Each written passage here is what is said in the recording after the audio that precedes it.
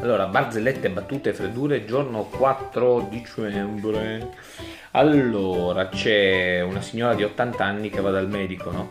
E gli dice, senta dottore, eh, io avrei bisogno di pillole anticoncezionali. Il dottore rimane basito e gli dice, ma scusi signora Robello, ma lei ha più di 80 anni, che cosa se ne fa delle pillole anticoncezionali? E la vecchietta risponde, eh, mi servono a dormire meglio. Ma eh, scusi, dice il dottore, ma come fa a dormire meglio con le pillole anticoncezionali?